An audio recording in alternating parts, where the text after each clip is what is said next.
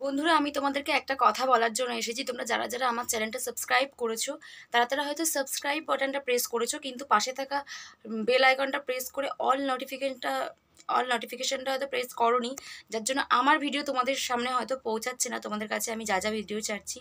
তো প্লিজ যারা যারা আমার চ্যানেলটা সাবস্ক্রাইব করেছ, তারা বেল আইকনটা প্রেস করে অল নোটিফিকেশনটা ক্লিক করে দাও। তাহলে আমি যা, যখন যা ভিডিও ছাড়বো, সবটা তোমাদের কাছে পৌঁছাবে। তো আমি বুঝতে পারছি এই প্রবলেমটা হচ্ছে আমার ভিডিও তোমাদের কাছে পৌঁছাতে পারছে না।